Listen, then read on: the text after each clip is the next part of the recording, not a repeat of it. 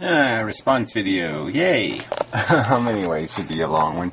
Uh, this Luddite Returns guy, again, has made one of his, whatever they are. I don't know what these, I, I don't know. I mean, they're just so much verbiage and, and, and talking around without saying anything direct. Yeah, something like that. Well, anyway, I, I don't know. Start around two minutes when he starts to get somewhere around a subject. To the antinatalism and ruins video, as with morality, the actualization of our reality conceptions uh, proceeds in terms of possible worlds. For example, uh, Benatarian, or what could perhaps be deemed analytic antinatalism, deems a certain possible world, namely one with population zero, as maximally uh, ethical. This grounded in the conception of the actual world. Uh, yeah, well, anyway, so I guess he's arguing here that, yeah, some sort of obvious thing. like, yeah, you compare things when you do value equations. And so, um, yeah, it just seems obviously you compare things that are going to have a future impact. I mean, most stuff that we deal with deal with in terms of a week from now, or a month from now, or 20 years from now, or 100 years from now. Um, we don't really fix the past. We try to fix the future, and that's the only point to having. That that's where the value is, is in the future. I mean, right now there isn't a hell of a lot I can do about anything. Okay, but I might be able to do something about tomorrow. Jeez world in which existers are always harmed by coming into existence. Of course, I do not believe this conclusion follows from Benatar's asymmetry, even if its premises are granted in their entirety. But mm, yeah, well, that doesn't. You know, saying you don't do that. Well, then you have to explain how you escape that logic. Okay, because there is a certain fundamental logic to the idea uh, that um, you know there there we are need machines. I mean, you don't like these words used to describe what we do, but what we do when we become conscious is we become a needful organism. Um, and that that need itself, the creation of a needful organism, is not something necessary. There's no function for it. It can only interact with other needful organisms. It can only be relevant to other needful organisms. And if you just don't create the need, then you don't create any downside li- liability. So it's like building nuclear power plants when you don't need energy. Like you have some perfect energy source, you know, just some perfect one, like little thing, and it just produces zillions of volts of electricity, and you, we don't have any need for nuclear power plants, and people still say, let's build them because they like them, because they're fami- because they're familiar with them. Why would you risk the danger they potentially can melt down into, um, why would you risk the harm that will be incurred if, if it's can serve no function? This, this is a pretty important logical question. And to just slough it off like, I don't buy it, well, that's not much of a freaking response. Sorry. It is not here my purpose to flog dead horses, so to speak. Yeah, again, you think the horse is dead. You haven't flogged it. You haven't you haven't done you haven't even you, you haven't even hurt its feelings. All right? I mean the horse is sitting here saying well what? This is your argument? I don't believe it? That's the best you got? Your argument is nature says so? Well what argument have you made? Your your argument is all value is subjective nonsense well, that's just sub- that's subjective nonsense. That's completely fallacy. That's like a religious theory. Oh, there's no real thing such as harm in the world. When a sentient, if I stick a knife in a baby's head, it's not absolutely, without a doubt, beyond a reasonable doubt, bad for that kid. It's not a bad thing that's taking place. There isn't a bad being incurred. A negative event is happening. And unless this kid is the future Adolf Hitler or some other weird scenario that would somehow justify not only killing it, but killing it in a harsh and brutal manner, causing buckets and buckets of suffering, there'd be nothing. There's nothing here, idiot. I mean, even, even, even. I watched the Aliens movie the other day, the number four or whatever it was, right? And the aliens getting sucked out of the spaceship, and you can see the anguish on Ripley's face, like, oh, you know, because it's suffering. And even though it's a terrible thing, it'll eat your brain, it'll just, you know, it'll kill you without even giving a fuck. I mean, it's still suffering right there in front of her. It's an obvious negative. The goddamn thing is suffering. You can't figure that out? I mean, I'm sorry. I mean, this is where I'm going to start getting rude because what the hell am I talking to people who can't figure out that pain is the value? At least one of them. I mean, if I have to concede something, but it's certainly a value. Absolutely, without a fucking doubt. Without a friggin' doubt. Consider the words of Nietzsche Zarathustra. Who the fuck cares? I mean, I'm just so sick of this name dropping motherfucking shit. But go ahead, do your little fucking bullshit. I have my way, where is yours? The- Yeah, whatever. Again, so so everybody just makes up their own reality, blah blah blah blah blah. We don't give a fuck about the truth. How how yeah, let's just you want to believe it's a flat earth, it's okay. You want to sit there and do biological experiments, it's okay. You want to play Dr. Frankenstein, it's okay. You want to sit there and, and have syphilis and, and, and anthrax and smallpox as pets in little aquariums, it's okay. Fuck you, it's not okay. Anyway, does not exist. As with the world's great religions, morality says otherwise. And even the moral nihilist, in agreement with Nietzsche, can uh, may take his way to be that of impediment to another's way. There is a sense in Whatever. Uh, you know, again, this isn't just about a bunch of selfish assholes writing up some sort of, you know, document of self self-riosity where they don't trespass against each other's um, interest. Okay, but they still act in a manner that is totally, um, you know, like I'm gonna I'm gonna have dog fights and I'm gonna have bullfights and I'm gonna you know sell women into into rape slavery. Uh, I mean, come on. No, that's not how it works. And it's not for you elitist little humans who get to decide who and what has rights. Okay, the right exists in the thing itself. Okay, we recognize rights. We don't make them up, jackass.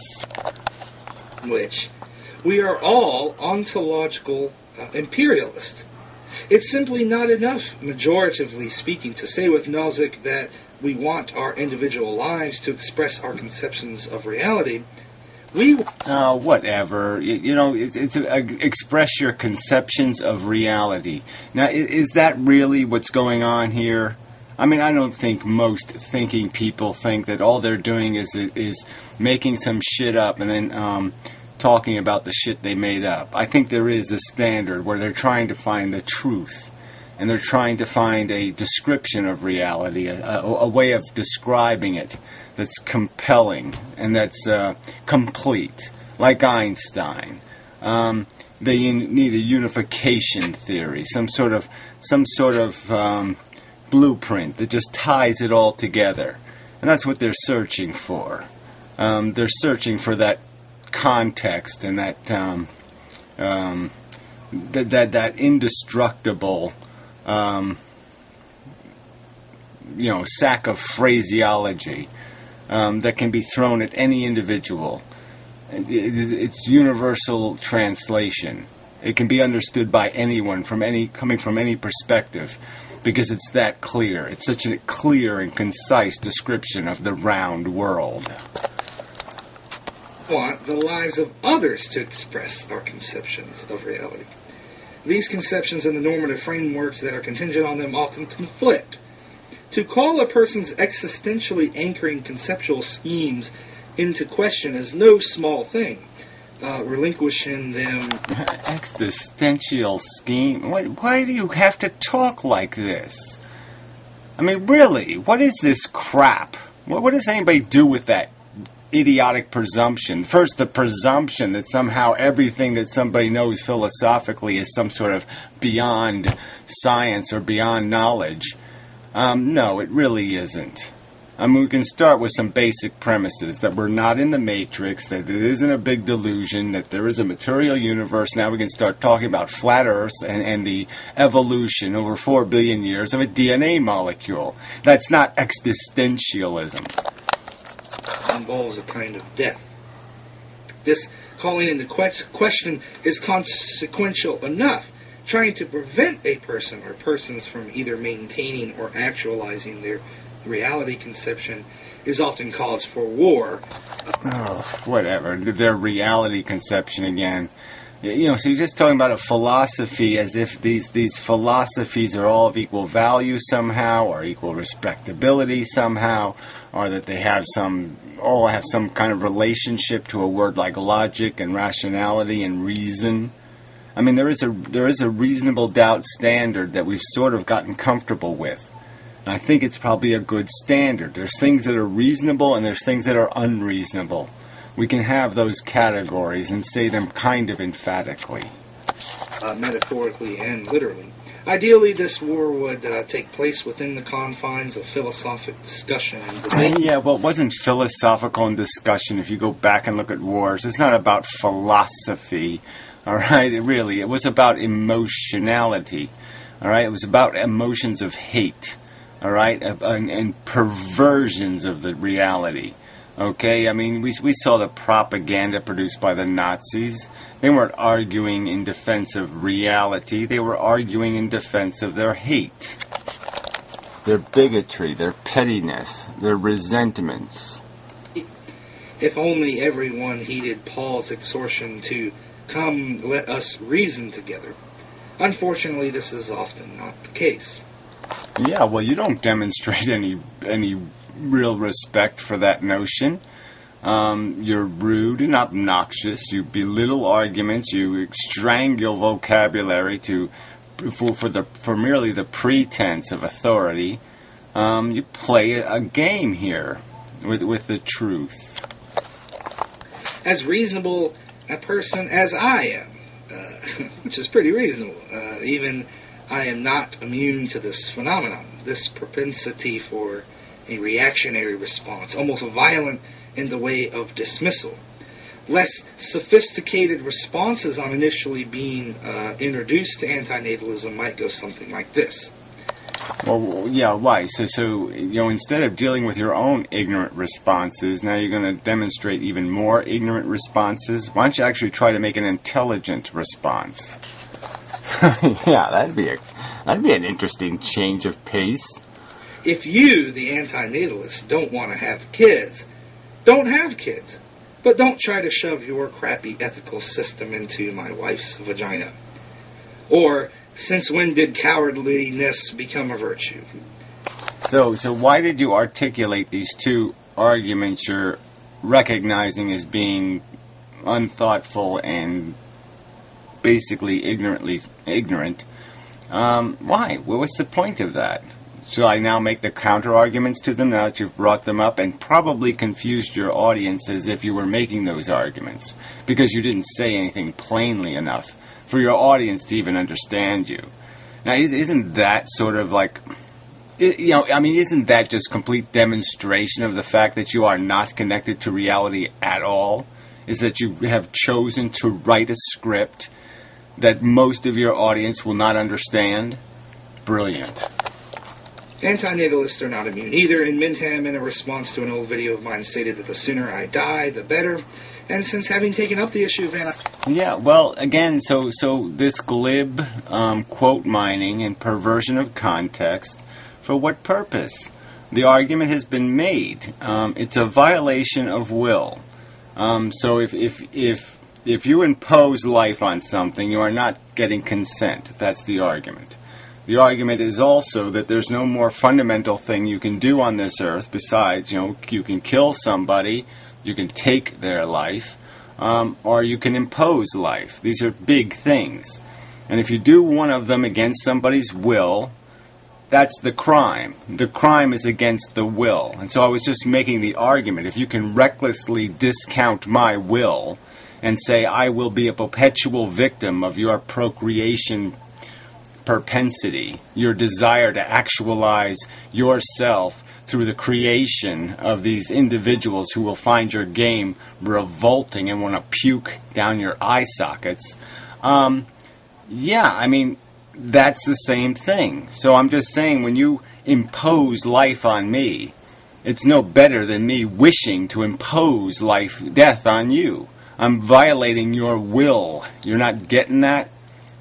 Oh no, I think you do get that. You just don't care about the truth again here, and would rather just mislead people and imply that I had some death wish or that I'm making little voodoo dolls against you. I couldn't give a rat's ass about you. Okay, all I care about is the is the distortion and perversion of the argument that you're making on the internet. I would love to just ignore you all right? Because I think you are a pretentious, dishonest piece of shit.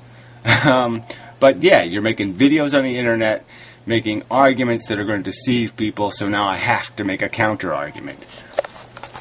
Antinatalism. Recently, I've received several private messages from antinatalists wishing death upon me. Ontological imperialists, indeed. Oh, indeed. Again, so there's no context there, and I, I guess I would almost say I would, um, I, I dare you to uh, to make any of those things public. If the individual sends you permission to make their death threat public, will you please do so? I don't believe you, fucker. These reactions on both sides of the equation are a testament to how intimately people are tied to their uh, reality conceptions. Anyways, on to the question. You ask, uh, what can we do to help get people's consciousness ordered properly, to where the suffering of sentience takes priority?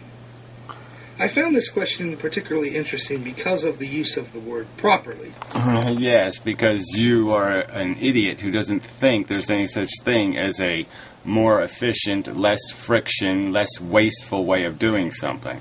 Like you establish what the values are, and then you analyze the system and try to take the waste out of it. So you try to limit the number of little kids that die on the Disney ride, right? Because there's a certain number that die every three years or something. And you say, well, let's reduce that number by 50%.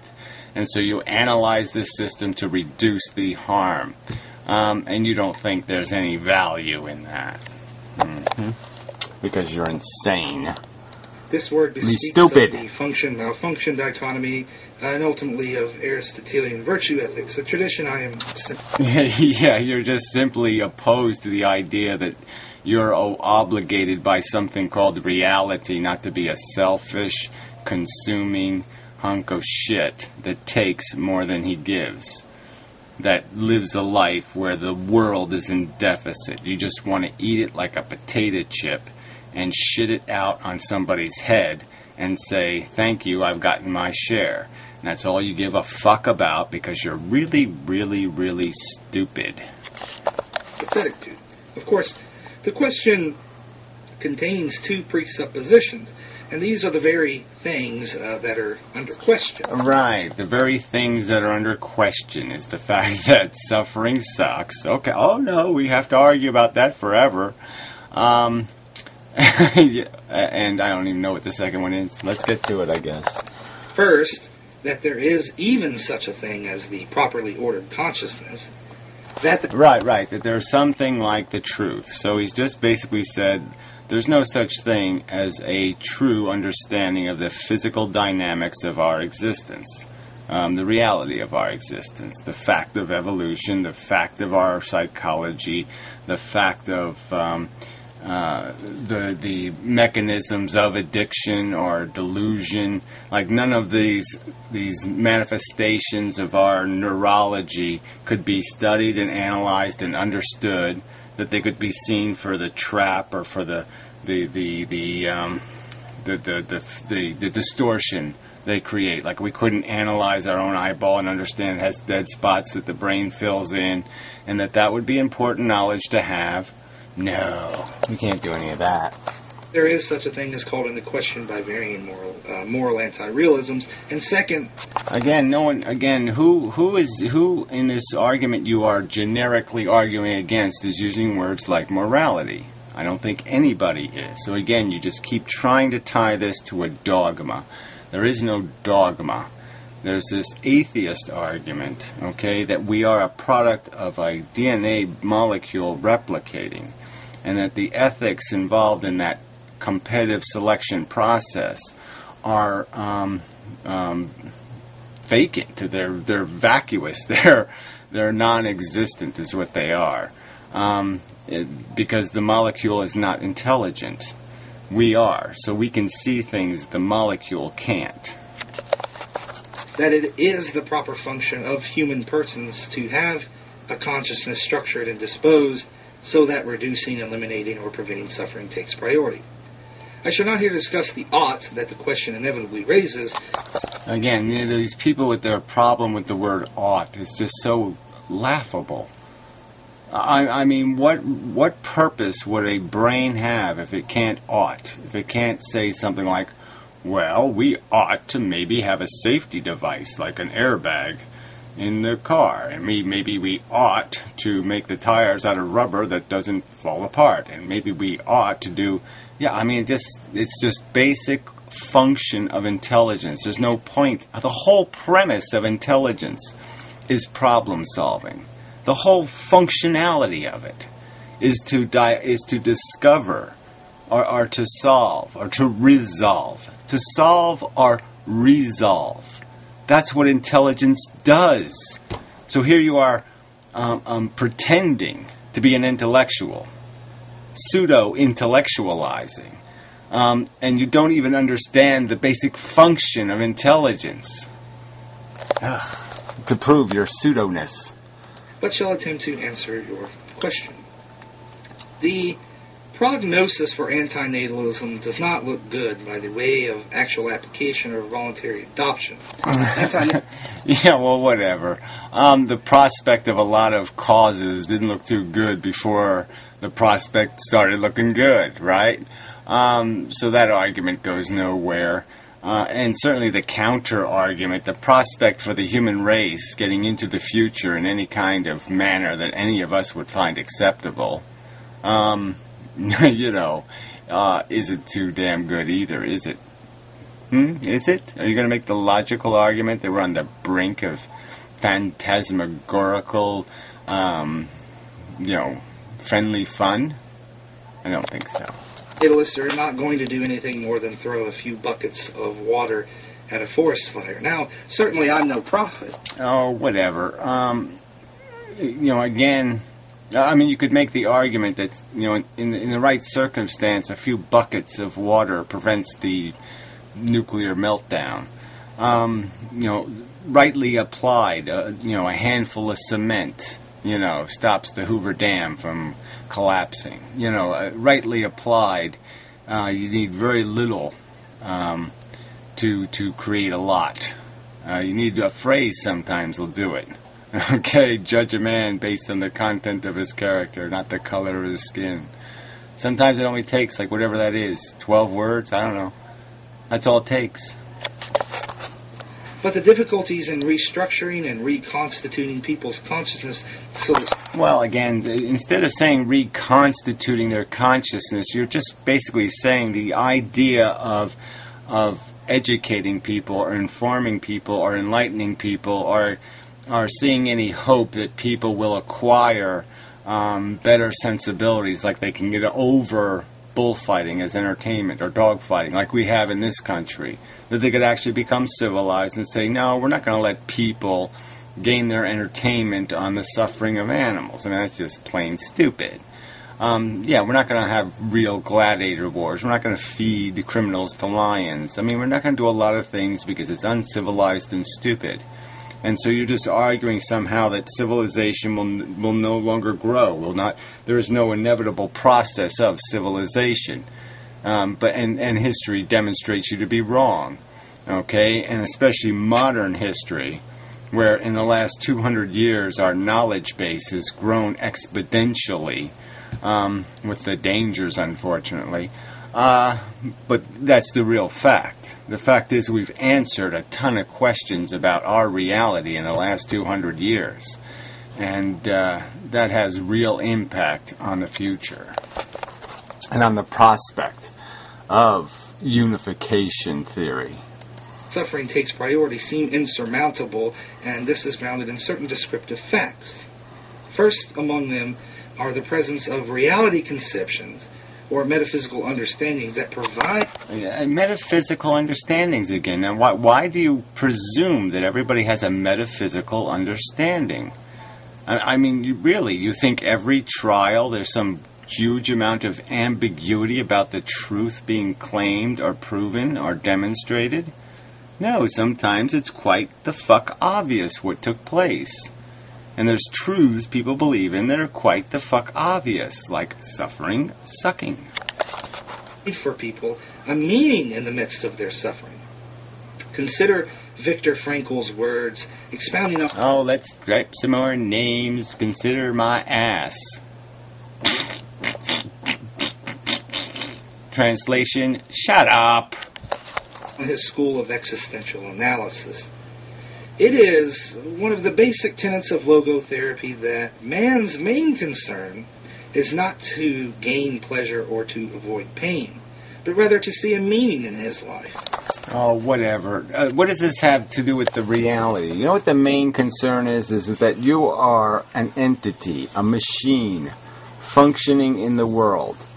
So, like if you were a cardboard box, or if you were a can of soup, or if you were an automobile, or if you were a Hoover Dam, the point would be is that you would have an efficiency, a productivity, a functionality in the world. And what are you producing? Okay, you're producing a consciousness inside your head that you're maintaining, that you're trying to keep comfortable. And what else are you doing? You're impacting other consciousnesses. So we could duplicate this person. There's a whole bunch of others in this mist back here. And this will impact them. This can give them some food, or this can help them, or give them a kind word, or do some other thing for them and help satisfy and please and comfort their little neurology. But that's what we're doing here. We're consuming negative sensation and producing positive sensation. That's what's taking place here. That's the efficiency equation. That's the value that is being used up in this scenario. That's how we be good cardboard box. that is why man is uh, even ready to suffer, on the condition, to be sure, that his suffering has a meaning. Well, again, now this kind of nonsense just sits there and justifies any philosophy. Anybody can believe anything, okay? I mean, uh, serial killers have believed they had ethical authority and right to do what they did. Kings, noblemen, noblemen, people called noblemen, raped women, raped people's wives, um, thought they were entitled, that they were superior enough to deserve the indulgence. Um, you know, that they could basically eat somebody else's life for dinner. And it was okay because they're worth it. I mean, that's just complete and utter nonsense. These machines have to judge their impact by some rational standard. And a rational standard is your little brain doesn't have better feelings than the other little brains that are having feelings. Yeah, it looks like there might be a little brain right there. Anyway, the greatest source for this discovery of meaning is, of course, religion. As long as people. Well, whatever. We know where religion came from, okay? It's the ignorant science of the past. All right, it's the mistake science. And the reason why it still exists is because of our addicted psychology, a word you don't like, but that's the fact of it. We become comfortable, acclimated, and addicted to things being in our lives. We're brought up in it and then we don't know how to function without it. That's the liability of our human nature. We like the path that we walk every day to be the same path, so we know it. So we know where the mountain lions are, where the cliffs are, where the slippery parts are. Uh, it's comforting to our psychology for things to re- certain things to remain stable and the same. The world to stay around. Uh, you know, gravity to stay the same. The air pressure to stay the same. We don't like having to change and adapt. And so that's the liability, is that this old nonsense of the past, we're stuck with it until we can demonstrate finally its fallibility. And we're getting closer to that. It's like UFOs. I mean, once we have cell phones and digital cameras everywhere, all of a sudden UFO theory gets wackier and wackier because all of a sudden it can't be just witness testimony anymore. Because now you can always ask the guy, well, why didn't you take a picture with your cell phone? You know, so the jig is sort of up. And we just have to do the jig is up thing for this religion thing. And you know, the only way it survives now is through um, ignorant isolation. Anybody exposed to the world, most people exposed to the world early, having the freedom to think, will think differently. They will not run to religion as the answer. And the, the only way they get religion is it has to be beaten into them, figuratively or to use J.K. Huysmans' words, consoled by the beacon fires of the ancient hope. Uh, as long as which you are selling, so you're the purveyor of the. All right, let's not call it God. Let's just add it. Let's let's change the wording and we'll call it hope now. Well, we pray to hope. Where we revere hope. You will hope that a DNA molecule knows what it's doing. You will hope that the universe knows what it's doing and just play along because you you can't use your brain to just figure out what's going on that you can't analyze your psychology and see your obvious attachments and addictions that they're all silly and arbitrary um, and therefore of little value to compensate for somebody else's real pain you're consuming more gasoline than you are producing product miles per gallon uh, to quote Hans Küng, people believe that. Again, fuck this quote crap. No matter how desperate my situation may be, God is here too. Not only in light and in joy. Yeah, what's the point of this rhetoric? I mean, really, what is the point of this? Does this have some rational theory basis? We don't have to believe in God. All right, it's a manifestation of psychology, and there are plenty of people to demonstrate that you can be you can live quite liber, liberated from it. This is just like a vegetarian argument. Everybody could be vegetarian tomorrow. It's just a mindset. All right, it's a meme, and all that has to happen is the meme has to be transferred to these other people. That's all. It's a simple idea. Once the idea is in their head, the concept is understood, the behavior changes. And if you don't raise somebody with the attachment, with the addiction, they're not going to acquire it. Don't raise them watching basketball, and they probably won't watch basketball. Boy, but in, also in darkness, grief, pain, and sadness, I can encounter him. My suffering, despite God forsakenness, can become the point of encounter with God. Thus, again, some more mumbo jumbo, more preposterous, you know, whatever, whatever the crazy religious. What was that nutty? Uh, the one who wasn't even a Catholic. In the end, Mother Teresa. You want to quote Mother Teresa next? Who the fuck cares?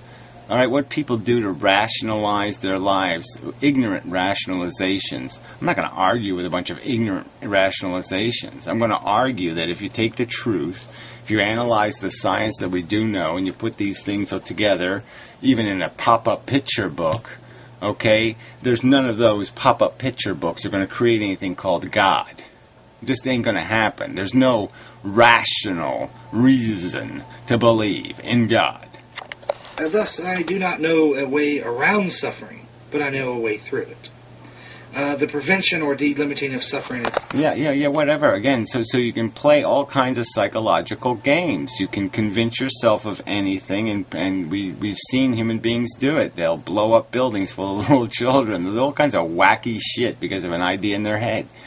Um, they'll commit hara-kiri. They'll do stick knives in the hair, watch their guts pour out. So yeah, people can do all kinds of crazy stuff when they got some sort of crap in their head that says this makes sense. But it doesn't make any sense. What? And it's not about your suffering. Again, the subject of antinatalism is, is should you impose the risk on some new victim? That's the question, asshole. Is it rational, reasonable, fail-safe, sensible, or is it just a preposterous thing you're doing because you're a selfish motherfucker? I think we know the answer is not going to take priority. The secularization hypothesis that was so popular back in the 70s has all but been completely abandoned by sociologists. Religion is here to stay, and with it, so. Yeah, a, a, a, an overtly nonsensical statement. All right, religion breeds in ignorance, and so as long as we yes, as long as we keep people ignorant in the world, we're going to have a problem. But look, it's the internet age. Eventually, the internet will even get to Africa. Okay, it'll become a functional part of every bit of this planet. If civilization was to still be here 500 years from now, there would be no way to suppress knowledge. Exposure to ideas, expressions, um, notions of reality. Um, you just can't keep you, you, just can't keep children that isolated um, forever. And the fact that these crazy Islamic countries can still do it uh, yeah, they can get away with it, but it ain't happening anywhere else in the world. Religion is dying in the world. Um, it's just that the religious are the irresponsible breeders, so they still have a huge presence in the world, but they're not what the they're not what what minds tend to do when they're exposed to knowledge. The suffering. I mean, when you look at the increasingly culturally influential relative to the rest looming monstrosity of Islam, both relatively and intrinsic to itself, the idea that preventing the suffering of sentience should take priority is like um, a. Ch- Again, I, I mean, you really think that Islam is going to survive a thousand years or ten thousand years of, of, of if civilization were if we could come up with some sort of theory of of civilization. Like even if all, all, technology just stopped right where we are, so we just didn't get into any deeper holes of of technical threat, um, and we just perpetuated this system for a thousand years. Do you really think religion would survive? That that it could that that that isolation could be maintained as a practical matter. Now, I mean, I would argue not. Chihuahua before a massive Great Dane. Second among the difficulties is the general fact that while people do tend to avoid, avoid pain where possible, majoritively we tend to value the pleasures of existence, the joys of discovery and accomplishment, purposeful fulfillment and happiness. More right, right, right. Okay, you get your, you have to smoke your cigarette, you enjoy your cigarette, and then your cigarette's burned up and gone. Yeah, okay, we get that. Um, you're hungry, you eat, you're full. Yeah, we get that. Uh, let's not glorify that process. It's not the same. Suffering and an orgasm, they're not the same thing. Then we disvalue whatever pain we might experience. Sometimes the pain is simply too great to bear, overwhelmingly, it isn't. Third among the. Dif- no, the only thing that makes it bearable is our fear of the, the death and, and you know and the pain getting worse. We're always trying to establish comfort, um, and and we always want to try to get there by going forward, not having to go backward. We'd rather not have to endure suffering to get out of suffering. Um, that's just logical.